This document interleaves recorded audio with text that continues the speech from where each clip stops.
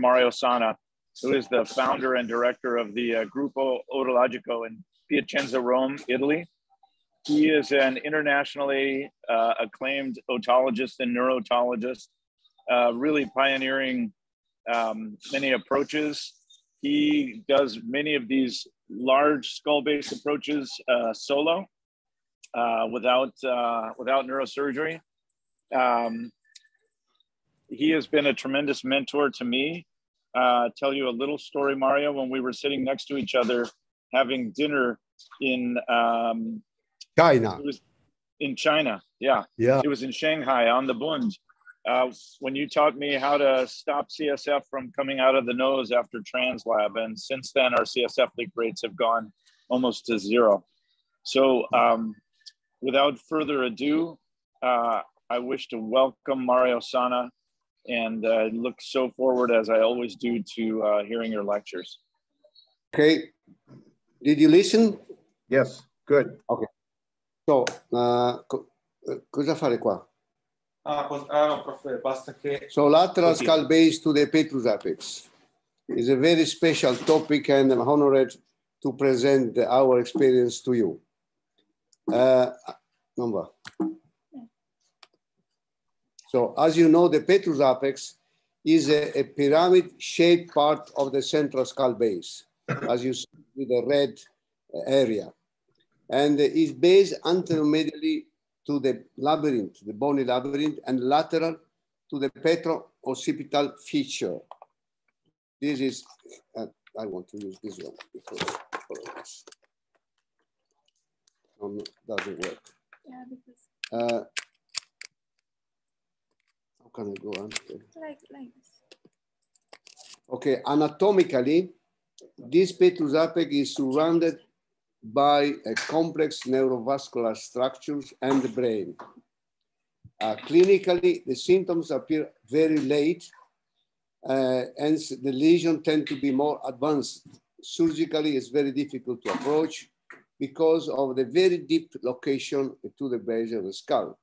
So as you may understand, is absolutely necessary of understanding, a perfect understanding of the anatomy and the skull-based approaches to deal with such lesion. Just, just an example, here this is the horizontal carotid artery, this is a prepontine cistern, this is a ventral, the ventral, the vertebral artery. Uh, there are two compartments anatomically. One is largely anterior triangle, that is there. This is one in the red. Here is the anterior foramen lacerum. This is the sixth cranial nerve. This is the V3. This is the horizontal portion of the carotid. This is the cochlea and the internal auditory canal.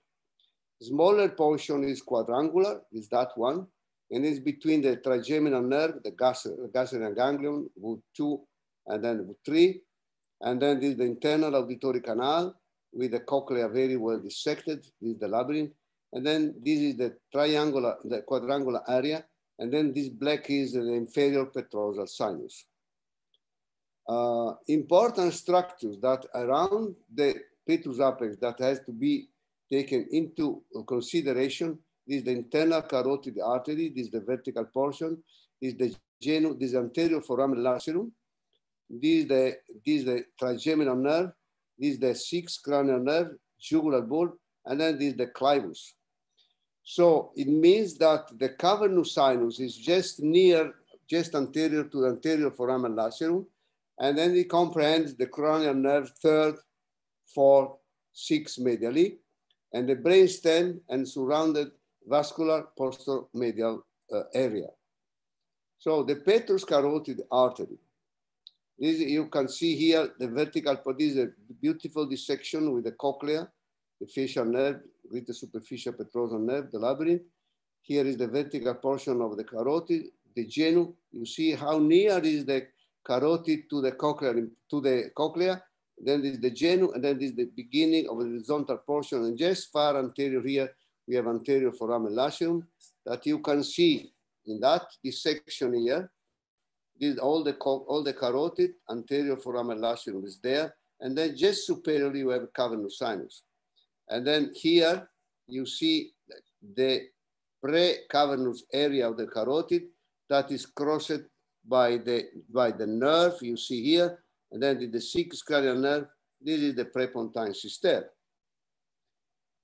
So the Gasserian ganglion is that one with the three branches, with three, two, one, and then this is the intracavernous carotid part. And then you see at the bigger magnification that, that the trigeminal nerve, this is the middle meningeal artery, this is the, all the carotid here, this is the internal carotid, the internal auditory canal, and this is the cochlea, and here is the part of the bone that has to be removed when you want to remove tumor anteriorly to the internal auditory canal. At the bigger magnification, we can see the area, this is the middle meningeal artery, this is through the middle fossa transpetrous approach, the preauricular. Then this is the V3, V2, V1. Now at the further dissection, we can reach the basilar artery. This, way, this is the basilar artery. This is six contralateral nerve. This is six homolateral nerve. This is the ICA. And then it passes through the Dorello's canal. It crosses the carotid and it goes to the cavernous sinus, which is here. Here is the, cavernous sinus almost completely dissected with the carotid inside. This is the precavernous area this from here down, you have the intrapetrous carotid, and then you see all the tract of the sixth cranial nerve through the posterior fossa, Dorello's canal, it crosses the carotid and it gets to the cavernous sinus. And here it has been removed all the bone, part of the clivus, the carotid vertical has been dissected, the pre-cavernous carotid is there. This is the this is five, uh, seven cranial nerve posterior displaced, this is the vertebral artery, this is the, this is the basilar artery, and then this is the six contralateral nerve. So important structures, pica, ICA, superior and inferior petrosal sinus. This is the inferior petrosal sinus and the carotid here, internal auditory canal, middle fossa. This is the clivus. And then here you have the internal auditory canal. This is superior petrosal nerve eh, eh, superior petrosal sinus here, inferior petrosal sinus. All this bone can be removed. And then you, once you remove it, we can get to the anterior superior part of the, of the brain stem, the cerebellopontine angle the brain. And then you can control here down to the vertebra, to the, to the vertebral artery and to the pica. So what are the pathologies that are presented in this area?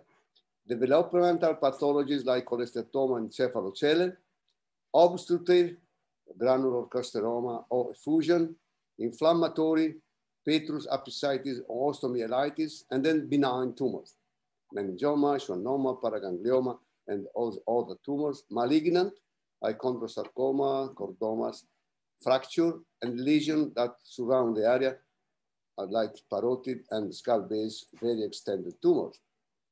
What are now the surgical approaches that there is in our armamentarium in order to reach this very so difficult area. First of all, is middle fossa uh, with transpetrous extension, adjust, and then retrolab, subtemporal, infratemporal, etc. Just see each, each by one. Middle fossa with transpetrous. The approach is pre-auricular, based on the zygomatic arch, and it permits to reach all the petrous apex, which is this area, and at the same time, the trigeminal nerve, it can control the low, the acoustic, uh, acoustic canal with the nerves, and then lateral part of the middle clival area. You see, this is the upper clivus, this is a middle clivus, this is a lower clivus. So the approach is pre-auricular, like this, common question mark, and then in order to dissect only this part, like for vestibular neurectomy or small intracanalicular tumor, it's necessary to remove all the bone between the posterior part of the internal auditory canal up to the superior semicircular canal, anteriorly to the cochlea, medially to the carotid. So you see the approach is very large and it permits to remove tumors that anteriorly located to the internal auditory canal, like for example meningiomas a further extension anteriorly. Once the middle meningeal artery has been cutted, we can continue to dissect the carotid and to reach the genu and then to reach the precavernous carotid and reach the three branches of the trigeminal nerve. This is the cadaveric dissection, this is the incision, then this is the craniotomy, and as you see, it's based on the zygomatic arch. We can remove also this part of bone with the rongeur in order to be tangential to the base of the skull and not to uh, compress the temporal lobe. One of the principles of the lateral skull base is remove the bone and leave the brain alone. So once the dura has been dissected, we go anteriorly. This uh, middle meningeal artery, greater and lesser petrosal nerve. Then you see you can a, a subarachnoid artery, uh, uh, subarachnoid area, um, uh, and then this part between the middle meningeal artery, the lesser and the greater petrosal nerve can be completely drilled and there is, is a moot area. There's nothing here which can be dangerous. All these bone can be removed. And then you see we have identified here the internal auditory canal, the posterior fossa dura. In order to reduce the pressure of the brain stem of the temporal lobe, is necessary to do a very small opening of this dura, this blue area, and then the leaks start to come out, and then the, the temporal lobe is completely released. You see here is posterior to the internal canal, is anterior to the canal, and then this, this bone, this uh, quadrangular area, which is immediately to the, to the cochlea, anteriorly to the internal auditory canal. We cut the middle meningeal artery now, and then we coagulate that. You saw this a branch of external carotid. Then we might cut this necessarily VU3, this is a foramen ovalis, where the VU3 comes out from, from, the base of, from the base of the skull. Once it has been cut, then you see, we can remove all the petrous apex, cochlea, internal auditory canal, anterior foramen lacerum. Here is the carotid. All these bones, the spongy, spongy bone, can be removed and drilled out with a di large diamond drill. You see petrous apex here. It's a spongy area. When this has been removed, then you can get to the part of the clivus here. This is a carotid artery. And then you open the dura, with posterior fossa dura. This is the sixth cranial nerve. Then we continue, we remove this part of dura, and then we have a beautiful view anteriorly. This is the seven and eight cranial nerve. And then you see this part where meningiomas anterior to the foramen, to the internal auditory canal are located. We can get also inferiorly, this is cerebellum, the beautiful view, you see that is the pica and the ica, this is the vertebral artery, and this is the basilar artery here. This is the ica, six cranial nerve that cross the ica, cross the clivus, cross the petrous apex, and cross the carotid. And then it here it gets into the uh, cavernous sinus. What are now the indications? For example, dumbbell-shaped tumor through the Meckel's cave here. So this is in the middle fossa, this is carotid, this is in posterior fossa. Uh, and then this is, uh, this can be removed in one stage with the preserving facial nerve, preserving hearing. Then you see the post-op, you see there is no any lesions of the temporal lobe and not of the posterior fossa. Another indication, this one, is a Meckel's cave tumor, largely in the Meckel's cave here, partially in the posterior fossa it reached the clivus, and then you see just anterior to the internal auditory canal, and then this is the drawing of the tumor. We need to remove the tumor through the middle fossa transpetrous without, you see here the, the corridor uh, anterior to the, to, the, to the petrous bone, laterally to the zygomatic arch, all, all the corridor, it permits to remove the tumor without any damage of the brainstem. So what about the combined approach, retrolabyrinthine, subtemporal transapical? This is all the approach that can be removed. And then always the principle, remove the bone and leave the brain alone. With this tumor, we can reach the mid-clivus. You can reach the posterior fossa from the trigeminal nerve, six. down to the, to the internal auditory canal, it can be drilled all the middle part of the clivus. So we combine the approach you see, uh, retrolab transapical here, subtemporal here, and orbitozygomatic. So you see here, this is the approach, retroauricular, preauricular, up to the uh, superior to the, uh, the eye. We cut all these bones from the middle fossa together with the zygomatic arch. We leave the external auditory canal and the middle ear intact. We do an approach pre-sigmoid, retrosigmoid, retrolab, subtemporal. Then you see here, this is the approach from the uh, tip of the mastoid, we go posteriorly, uh, just anteriorly. Then the external auditory canal is perfectly maintained intact. This is a temporalis muscle. This is the, the tissue um, of the mastoid. Then we identify all the bone that can be removed. This is a middle, this is the tip of a mastoid, external auditory canal. All these bone must be removed. And then once it's been removed, we do mastoidectomy, incus, labyrinth, facial nerve. Then craniotomy, very large craniotomy, in order to follow the principle, remove the bone and leave the brain alone. Remember, that's very fundamental in order to avoid any damage of the brain. You see how large is the approach. It goes from retroorbital, you saw all to the middle fossa, sigmoid sinus, here the labyrinth intact, the external auditory canal intact. Then in the middle, in the middle fossa, this is medial meningeal artery, greater superficial petrosal nerve. We cut the middle meningeal artery. Then we cut the V3, is the V3. And then you see this foramen ovalis. Then once the V3 has been cut, then all the tissue that uh, go, goes down and then you see the approach. Beautiful approach. Here you see the posterior fossa, sigmoid sinus, jugular bulb, labyrinth, incus, and then in the middle fossa. This is the petrous apex. And then we go here, we identify the, the cochlea, this is the labyrinth, and then greater superficial petrosal nerve. This is the part of the carotid. And then here is the middle fossa, the posterior fossa dura, and then the, the clivus. Then we open the dura medially to the superior petrosal sinus, posteriorly to the labyrinth, this is the endolymphatic sac, this is the jugular bulb, and you see what, how beautiful view of all the posterior fossa here, vertebral artery, 11, 10, 9, basilar artery, this um, ICA, arterial uh, acoustico-facial bundle, six, fifth pons. So here we can also go further. We cut the, the, the tentorium, we close the superior petrosal sinus, we identify the uh, temporal lobe, and then you see we can reach the third cranial nerve. And then this is the Dandy's vein.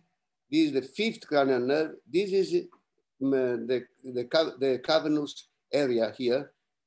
And then you see, or you can go also anteriorly to the trigeminal nerve. And what are the tumors that can be removed? This is a chordoma. The larger part of the tumor is, in the middle fossa. It passes in the channel to the Meckel's cave. This is in the posterior fossa. This is axial, this is a coronal view. The patient had the sixth cranial nerve preoperatively. The hearing was normal. Look how beautiful is it just the day after. You see this is the craniotomy orbitozygomatic. This is the retrolab subtemporal transapical. You see the corridor of the apical compartment and all the tumor has been removed. The hearing has been preserved. Facial nerve six was paralyzed.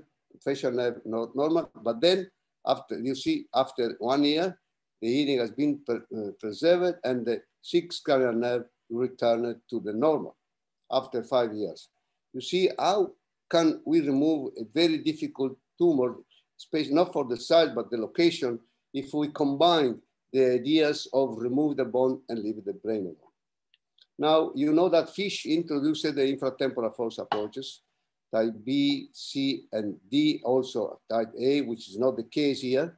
And then here you see all the bond that can be removed in order to reach this area. So in green is signed what all the bond that can be removed. We extended very down to the occipital condyle here. This is a modification of the Fisch approach. in order to, to avoid recurrences, which are here. And then you see here that we have a displaced mandible anteriorly. This is the uh, tube of uh, intubation. And then you can control all the carotid up to the anterior foramen lacerum. This is the facial nerve in place, the sigmoid and jugular bulb. Okay, this is the, the dissection in the cadaver. This is the incision, the skin, external auditory canal, which has been transected. We close the external canal cul-de-sac. Then here, the zygomatic arch. This is the facial nerve, mastoid tip. This is the gastric muscle. We can even go very far posterior here in order to reach the area of the condyle. The section of the middle uh, ear and mastoid, that is very, very, very normal. Is the facial nerve, is the zygomatic arch, and then this bone must be removed in order to uh, leave to free the, the brain and not to do any pressure on the brain. Here the zygomatic arch is in place, middle fossa, cochlea, carotid. This bone is spongy bone that you can go under the cochlea, under the carotid, they go anteriorly, facial nerve in place. And then this is the middle meningeal artery here. We cut the middle meningeal artery. The carotid has been uh, dissected. This is the eustachian tube. Then here, very large approach anteriorly to the carotid here, to the retropha retropharyngeal area. Now we remove the zygomatic arch with the bone, and then you see how large is the approach. And please look, no any brain retraction. Facial nerve, carotid, eustachian tube, third cranial nerve, middle fossa. If we need, we can transect the tentorium and the inferior petroneal, superior petroneal sinus, and then to get inside. Then we can go even further anteriorly. We cut the trigeminal nerve. This is the eustachian tube. Here is the, si chiama questo? Uh, pterygoid, pterygoid bone. This is the V2. This is the carotid. This is the, sorry, uh, the eustachian tube. And this is the carotid. Now we remove the pterygoid bone. We leave the VT intact. On us, the pterygoid bone has been removed, we get it to the sphenoid sinus. It seems about why you are going to the sphenoid? Because tumor of the bone, of the temporal bone, can get into the sphenoid, as I show you later on. Then this, uh, the sphenoid has been open here. The rhinopharynx has been open, the vomer, and you see how large approach, so that all the tumor, for example, uh, tumor that resistant with the residual after radiotherapy or carcinoma of the eustachian tube can be removed in one block laterally. And then the, is the carotid, this is the uh, anterior foramen lacerum, this is the uh, cavernous sinus. And this is one, this is simple. This is a cholesterol granuloma of the petrous apex. Uh, generally, we do not open if they don't have symptoms. This patient had a progressive six cranial nerve palsy. So we decide to remove the tumor through infratemporal fossa type B. We are closing the external auditory canal cul-de-sac. Then we, uh, we suture the canal and then we put the dissection here. We, in generally, we don't cut the trigeminal nerve if not very far anterior. Necessary here is the, the facial nerve. This is the right ear. The carotid start to appear. This is the carotid. And then you see here, this is the the tissue, pathologic tissue, anterior to the carotid. Here is the carotid artery. And then you see it's very it's organized uh, cholesterol granuloma, and there is no way to treat this type of cholesterol granuloma, not the infracochlear and not the uh, sub, subfacial, because it's necessary to dissect the, the facial nerve inferiorly, pass under the facial nerve, anteriorly to the carotid, medially, and the, you see the carotid is here, is the carotid. This is the, the, the, capsule of the tumor. We can call it tumor because it's very large and it, it erodes the bone. It, it provokes the six cranial nerve palsy. And carotid is completely dissected here. And uh, here it is practically finished. And then you see once it has been finished, we control sometimes with endoscope, we clean with the, with the cottonoids, and then we suture the, the eustachian tube in order to avoid any ascending infection, carotid, cochlear, uh, facial nerve, uh, cochlea, labyrinth. Okay, this is the post-op, this is the facial nerve. And this is another one, this is a chondrosarcoma. You see the carotid vertical is eroded. The inferior clivus is eroded, part of the middle clivus. And then this is the, this is the carotid here, and this is the tumor. Then you did uh, what you, you see, uh, pre-labyrinth, no, pre-sigmoid, retrolabyrinthine, uh, under the facial nerve, and we have dissected all the carotid here uh, in one, and then we removed everything in one piece. And then here is the, the closure. You see, you can displace the carotid anteriorly, and then we close the uh, cavity with bone, with the fat, with the uh, abdominal fat and muscle. This is the post-op, beautiful view you see here. And then this, and after five or six years, there's not any, any residual tumor. You see very nice, acceptable facial nerve. I think it's House Brackmann too. Now, the preauricular approach now to infratemporal fossa type D. You see the preauricular, it starts in the tragus at the, at the level just under the zygoma. You go as a question mark very long here. Then we cut the zygomatic process. Then we put these holes in order to be resutured. This is the pre-orbital, this is the orbit. Then we dissect all the all this bone. This is the zygomatic root, temporalis muscle. Here is the all the dura. Then we go and we identify VO2, VO3, middle meningeal artery. We need to cut the middle meningeal artery and the VO3. And then you see a bigger magnification of beautiful view of the branches of the of the of the um, trigeminal nerve. This is um, um, foramen ovalis, foramen rotundus, foramen spinosum. We cut here everything, the middle meningeal artery. And then you have all the approaches to the carotid, vertical and horizontal carotid. We remove the petrous apex. And you see here, we get to the sphenoid. This the carotid has been displaced superiorly and anteriorly. Here we have VO1, we have the carotid, we have the six sphenoid.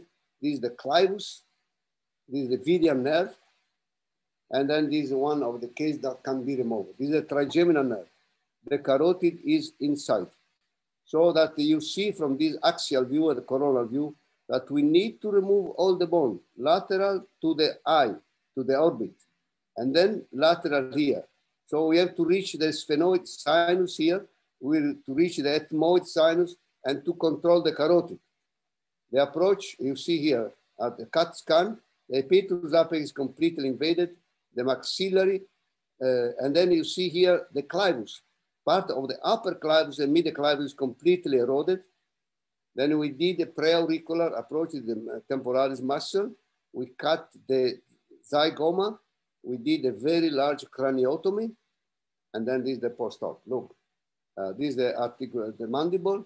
You see here lateral tangential to the orbit here. We have reconstructed the orbit here. We have reconstructed the bone. All the tumor has been removed uh, in one stage. Now, the translabyrinthine transapical subtemporal approach, what does it mean? It means that we combine the translabyrinthine approach, classic of House, but we extended this approach with a transapical extension, which means to remove the apical compartment in order to be able to remove the tumor at, which are anterior to the internal auditory canal, a pre-pontine cistern. Uh, this is the, what we mean the transapical extension. You see translabyrinthine approach has been accomplished, but you see the, all the bone between the floor of the internal auditory canal and the petrous apex is removed. Uh, 360 degree around the internal auditory canal, the same superiorly, is a vestibule, and you see how much bone has been removed here. By the way, we don't use anymore the Bill's bar, but the superior um, uh, ampullary nerve. Now the dissection continue anteriorly to the, trigeminal nerve. It continues anteriorly to the internal auditory canal.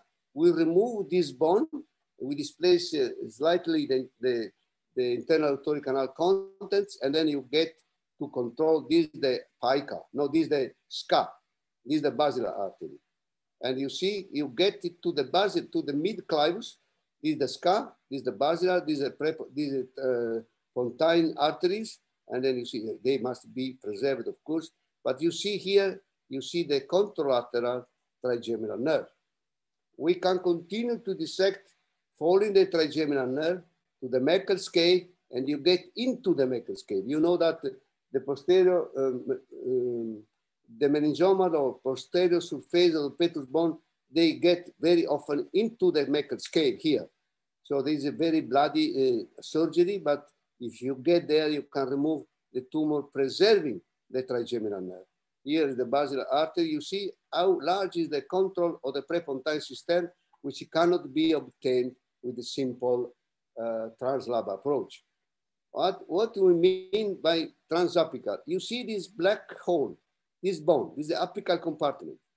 Uh, with the normal translab, we don't remove this. But if you remove this, then you can get tangentially to the most anterior part of the tumor that is attached to the basilar artery and to the, uh, uh, the, prepontine cistern. One of the indications is very, this dermoid, this is dermoid uh, passed through the Meckel's cave, and then this is the post-op. You see retrolab, uh, no, translab, transapical extension, and removing uh, the part of all this bone, and then the, the, the malformation, and you see here, no, any the day after the surgery, no lesions of the cerebellum, no lesion of the uh, brainstem. Now the transotic has been introduced by, by Ugo Fisch.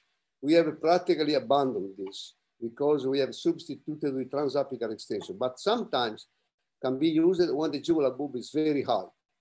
So this is a classic trans transapical, uh, sorry, transotic. This is the carotid, is the geniculate ganglion, but I have added the transapical extension here. Generally, it's not need to remove the external auditory canal, but if we if the bulb is very high, then in order to, make to have a, a little more uh, space here between the carotid and the posterior fossa, then we remove it. Then you see control the 10th, the 9th, vertebral, lateral, uh, contralateral, vertebral, homolateral, basilar artery, six cranial nerve, trigeminal nerve. And then you see here a beautiful view of the lower cranial nerves, the 12, uh, the pica, the 11, and then is the basilar. Look here, you can control all the, this area from the trigeminal nerve, fourth cranial nerve, SCA, is the Dandy's vein, all this area is under control. And this is one case, for example, because it's very high uh, extended, very, very anteriorly extended. You see, we must remove this part of bone. It seems uh, um, insignificant, but in the skull base, few millimeters means a few, uh, many, many centimeters. We did this as a stage procedure because he had a, a vital sign during surgery, but the second stage, totally tumor being removed. So combined approach, transotic plus infratemporal fossa B for the chondrosarcoma.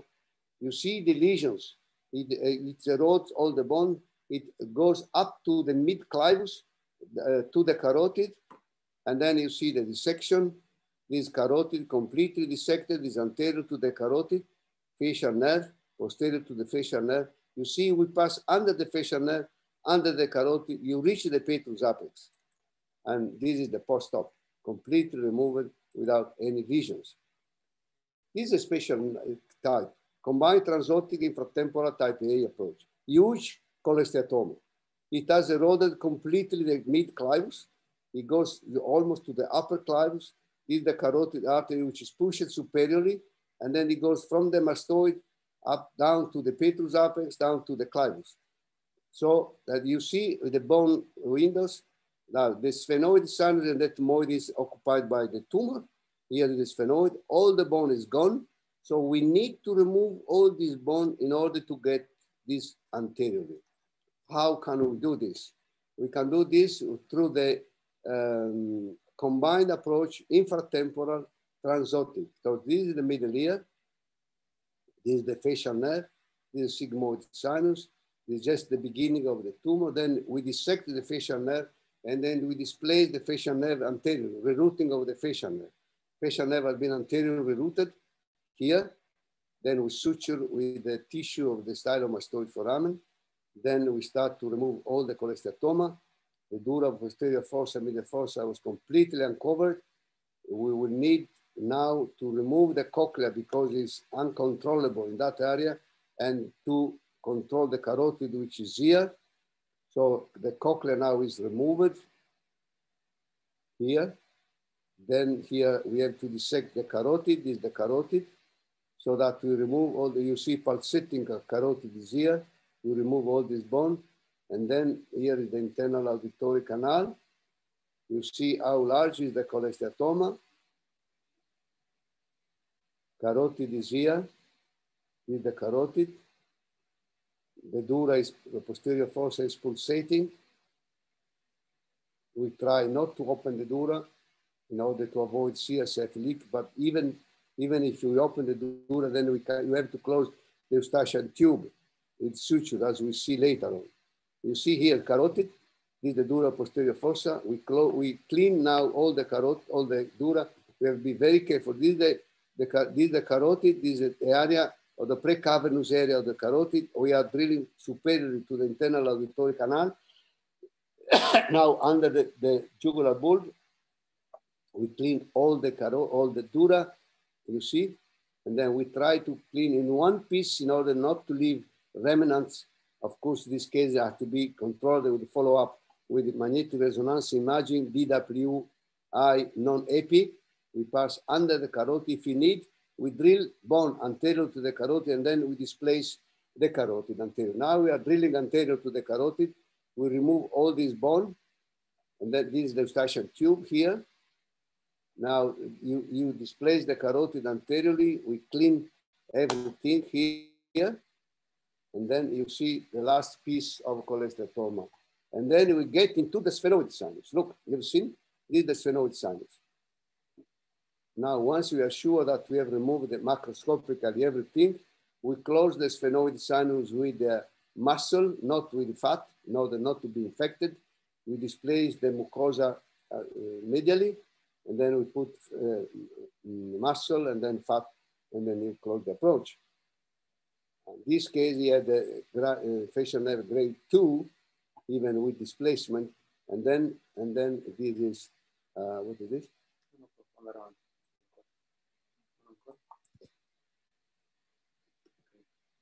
Okay, this is the post-op. You see, you see, I've reached the clivus. This is the axial view, coronal view, and then here everything has been removed. Now, the modified transcochlear approach. Uh, the transcochlear approach comes, as you know, from Los Angeles. We have modified the approach, uh, removing the external auditory canal. And as you see here, this is the type A, the cranial fossa, posterior fossa, jugular bulb, carotid up to the V3. Uh, anterior displacement, we can control the horizontal portion of the carotid up to the uh, cavernous sinus here. The, the mandible is displaced uh, inferiorly, and then the uh, facial nerve displaced posteriorly. So this is the carotid. This is the facial nerve, jugular bulb, internal auditory canal, geniculate ganglion, greater superficial petrosal nerve, internal auditory canal, we cut the greater superficial petrosal nerve, then we displace the facial nerve posteriorly. You see that there is no middle ear, so that we can dissect the cochlea, the carotid freely, then we can remove the clivus here and the apical compartment, vertical, genu, horizontal, precavernous area, this is the middle fossa. Then here is one of the, the these cases was already operated through the retrosigmoid approach. And then this very few months later, you see, practically they did what I call enlarged biopsy. This case has, also very high jugular bulb here. You see it's medially to the jugular bulb. So we decided to do a transcochlear approach. Facial nerve was grade six. So we, we, we, we removed the facial nerve that was already grade six. We remove all the bone medially to the carotid and to the apical compartment. Is the jugular bone here. The carotid is here, and oh, this is the carotid. So we remove all the bone between jugular bulb and carotid. All this bone must be removed before opening the dura in order that to be able to open the dura to, to, to release the CSF leak. You know, there is no any uh, pressure on the, on, of the brain. Then we open the dura and then with the bulk, we start to debulk the tumor. You see, there is no bleeding. We operated with so-called bloodless technique. We have a special bipolar, uh, which is a resonance bipolar. It cuts and coagulates at the same time. And you see there is no bleeding at all, zero. And then we put cottonoid over the brainstem in order not to, to damage the brainstem. Uh, you see, uh, did the brainstem very, very clean, no damage, no bleeding. A cottonoid over the brainstem, we coagulate over the tumor and protecting the brainstem with the cottonoids. We can remove everything without any damage, absolutely any damage to the brainstem. This is a very, you see the cottonoid protecting the brainstem. We push with the cottonoid with the suction irrigation, the Brackmann suction irrigation. Then we reduce the tumor progressively, the bulk in the tumor, until total removal is accomplished. You see pulsating perfectly, pulsating. These cottonoids protecting the brain stem. And then the last piece of tumor, which is here, of course, we remove everything. We don't think it's a worthwhile to do subtotal removal, especially when young, young dog. You see the arachnoid perfectly preserved. And you see how nice is this bipolar. This basal is bipolar, has been developed in our center. Now we remove all the cottonoids, we control the bleeding. Look, perfectly, this section. No bleeding at all, nothing. This is a pressure of the tumor of the brain, of the cerebellum. Uh, and then this is the post-op. You, it was, uh, no, post-op. It was the previous retrosigmoid by a neurosurgeon. You see how large the approach, uh, it has completely obliterated with abdominal fat. And what happens when, he, when the patient is operated three times, four times by the neurosurgeon? Look, he has no, no anymore cerebellum, but he has the tumor. And the carotid is completely compressed. He has total facial palsy. He has a blind in this, eye, in this eye. It was considered inoperable. I think that is easy, easy surgery. We did total removal. You see transcochlear approach with the transapical extension. This is very important. The apical compartment, you see this part, is completely gone by drill. And then this was what was done by the neurosurgeon. Now, modified transcochlear type B is extension anteriorly, the zygomatic arch. Is the, the mandible. This is the craniotomy, very large. And then you see here the mandible. You see it's tangential to the base of the skull. And then this is the carotid, so that we combine translab transcochlear, subtemporal, transapical here. And then we cut the middle meningeal artery, the V3, we cut the V3, and then we have to drill this bone. And then we get immediately to the sphenoid sinus. We control the vertical, horizontal, genu, pre, uh, the, the carotid at the um, anterior foramen lacerum. This is the precavernous carotid. This is V2, V2 this is a sphenoid and the eustachian tube. And then you see this is the carotid, pre-cavernous carotid. So if you remove this bone, you get here in the sphenoid sinus. You see the bigger magnification, this is the vomer, this is the nasal fossa, this is sphenoid. So carotid, vertical, genu, uh, anterior foramen lacerum, pre-cavernous carotid. And then again, we go further to the cavernous sinus here. And then this is a, a case of a trigeminal neuroma in the middle fossa and posterior fossa extended to the cavernous sinus here, uh, uh, retroorbital. It has been considered inoperable by neurosurgeon. Neurosurgeon he sent me this case, and we did this very large approach. He has already facial palsy. You see this is the craniotomy, middle fossa, sigmoid, retrosigmoid, and then this is the tumor here once the door has been opened. And then you see here, we saw the trigeminal nerve, homolateral. This is the sixth cranial nerve. This is the uh, artery. This is the uh, mid clivus, the clivus. And then you see the contralateral trigeminal here, contralateral six cranial nerve. Post-op, you see, practically it was the, the retros retrosigmoid by the neurosurgeon with the transcochlear orbital zygomati because we remove all these tumors. So we go tangential to the orbit, to the upper and middle clivus, to the all the petrous bone has been removed, and you see here practically completely removed and reconstructed. And this is another trigeminal nerve in NF2.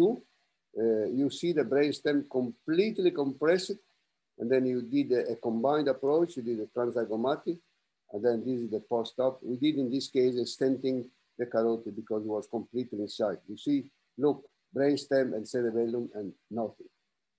So what can we give you as a, as a message to take home? The petrous apex is a very complex area. And these lesions involving this area can be centered directly on the petrous apex and can be reached uh, through uh, the particular approaches and we have to consider the contiguity with the other structures. Sometimes the preoperative radiology is not sufficient for diagnosis. So the surgical approach depends on many factors. Uh, the carotid artery, the lower, the cranial nerves, the brain and the brain stem involvement and the size of the disease. Most lesion centered to the petrous apex without massive carotid involvement and normal function can be operated both endoscopic approach and middle fossa transpetrous approach. I don't really believe very much in endoscopic approach, but a, a retrolab subtemporal transapical approach, always extradural is very important. In case of a carotid involvement, the infratemporal fossa approach type B allows complete control and safe immobilization of this uh, very important ar uh, artery. In case of tumor extended in both posterior fossa and the petrous apex, lab with transapical extension and sometimes transotic can be recommended. The transcochlear approach should be selected only when there is a very huge tumor anterior located with the facial parts already preoperative. And you are welcome to the uh, our lab, 20 places. I have named the Bill House Laboratory because I have to thank Bill for everything and the group pathological. These are one of the books that we have published with the dissection of the temporal bone and the base of the skull, and it has been translated in Chinese. Thank you very much for your attention. Yeah. Mario, as always, uh, it's beautiful work, really beautiful. Um, uh, you, you show us how so many areas of the prepontine cistern and the base of the skull are accessible. Um, I'm looking for questions. I have a question for you, even though I think I know the answer because you and I are on the same page. How do you feel about radiosurgery for uh, acoustic neuroma? May I be unpolite? Please. Bullshit. uh, not, but I say this uh, based on data. Yeah. We are following uh, follow up 1,300 cases for 10 years. 75% of the cases, they do not grow at all, zero. Some of others, they grow, but very, very small growth. And that this, this patient that grow, uh, we give to the patient the choice between surgery and radiotherapy, but only after a sufficient follow-up period. You know, the radiotherapists, they see a patient and they see immediately irradiate immediately. They immediately irradiate. So they, the tumor stops, it doesn't grow, but it doesn't grow not because of being irradiated, but because of a natural history of the tumor. If they want to demonstrate that the radiotherapy is, is effective, they must follow the patient for years. And then only after that, eventually irradiate the tumor that they grow and then compare the results with surgery. Thank you. Are there other questions from the audience?